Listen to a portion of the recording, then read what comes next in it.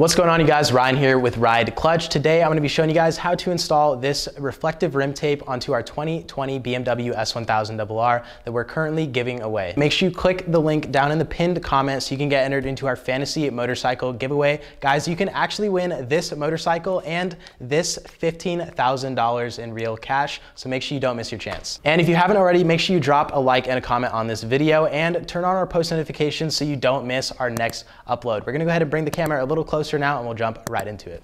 So first things first, you're gonna wanna just grab some isopropyl alcohol. Anything just like this will do. You're gonna grab any type of paper towel, cotton ball, microfiber towel, apply it on there just like this. And then you're gonna wanna clean the surface of the wheel. This is really important because if the wheel is dirty when you apply the tape, it is gonna be a lot more likely that the tape is gonna fall off eventually because there's a lot of debris and things getting in between the wheel and the adhesive. So you're gonna wanna make sure that you do a really good job cleaning the wheel, just like this.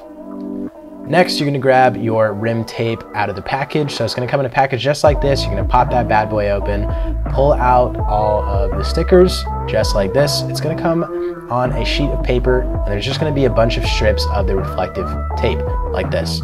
So it actually doesn't come in one solid piece. You're gonna install them each individually, which in my opinion makes for a much easier install.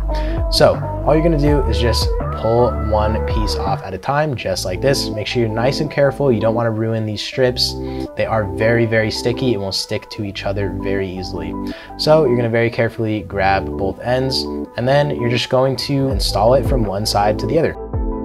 So you're just going to very carefully apply the tape and once you get a new piece, you're just gonna barely overlap it so it looks like it seamlessly transitions as one single piece. And then you're just going to make sure that you are following the curvature of the wheel, making sure that you're not installing the tape crooked and it's not going in some weird way. You're gonna wanna make sure that you're going around the wheel in a full circle. If you don't have any stands to prop up the wheels of your motorcycle, it's no big deal. All you're gonna do is just roll the motorcycle back and forth so you can expose the areas that are covered by the swing arm. That's what makes this such a super simple install, guys, is you don't need any tools for it. When you're done, this is what it should look like. You guys can see that there are no weird curves in the rim tape. It's following the curvature of the wheel perfectly and there are no gaps in the tape.